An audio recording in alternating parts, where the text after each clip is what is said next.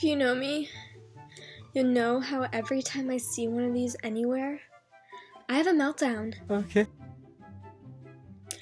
I start to cry. Just, I'm trying to avoid any sort of contact with my eyes with this thing, but it's so bright and yellow.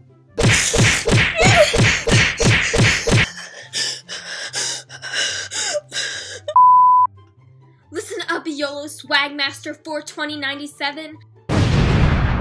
I'm going to devour you. I'm gonna make sure your ashes go to the ground, cool down a little bit, so then I can stomp on them and know that I did something right for myself. You burned down my wooden house that took me five hours to build.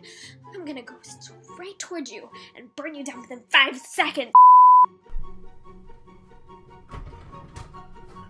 Why the father fucking fuck?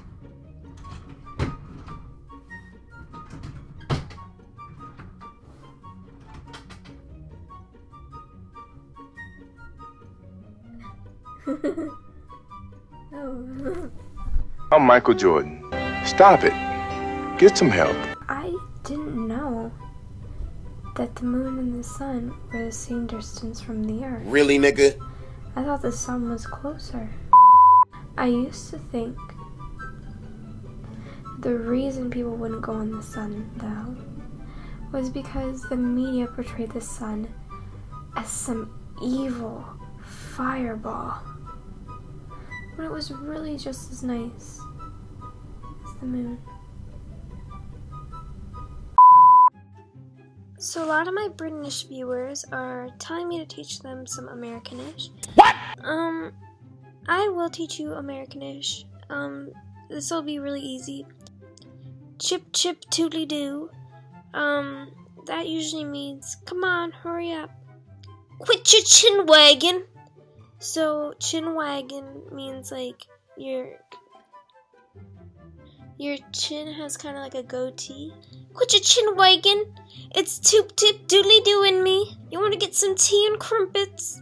That usually means like you want to go out for lunch or something. Governor. While I was eating my hamburger today, um, I was starting to feel very sick. I realized I am a vegetarian. So, if you don't know what a vegetarian means, it means that you are allergic to meat. Um, did you know that there are over five languages in this world? We don't need all these languages, people. British language, or Canadian language, or Hawaiian language, or Alaskan language. We need just American, okay? Just American language. Nothing more, nothing less, just American. You wanna know why? Because the letters are pretty. There's just a lot of fonts. You can't get that with no Canadian language with the little ching chang chong. Okay, Donald Trump. I'm not gonna be mad at you for what you stand for. I'm just gonna be mad at you because you don't know that I exist. I love you, okay, Donald Trump? You are the man of my dreams. Not because, not because you have looks for days and you're the hottest guy in America, in my opinion. What life? Or because you have money, or anything of that. It's because you're just great. You're you're great to me. You're a great overall. What life? You're a great person. Except you don't know I exist.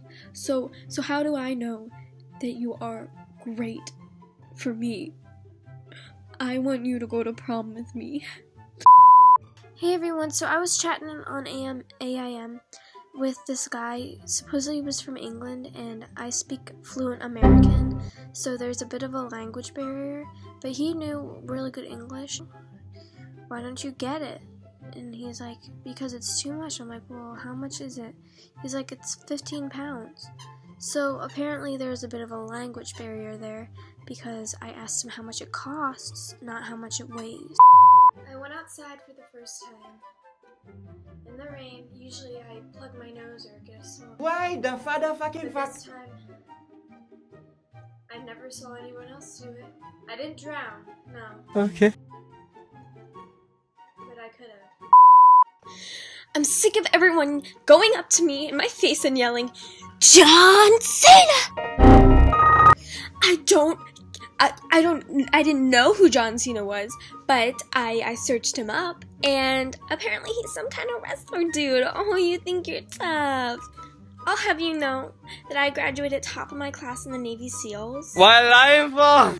And I was involved in numerous raids on Al Qaeda. So, you think you're tough for just being some guy showing off his muscles and flexing everywhere and pounding some guys into the ground? Honey, learn what real fear is.